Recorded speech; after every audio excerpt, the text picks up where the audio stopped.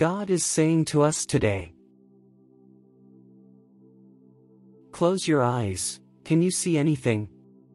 No, you can't see anything properly. Open your eyes, can you see anything? Yes, you can, but there is a limit. Even if you close or open your eyes, or do anything you cannot see what your future will be, unless I give you a vision or I speak to you about it.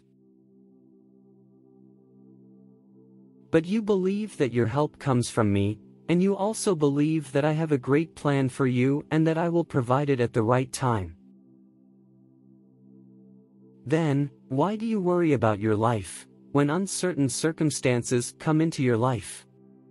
Have faith in me and do not throw away your fearless faith in me, for it is a glorious and great reward.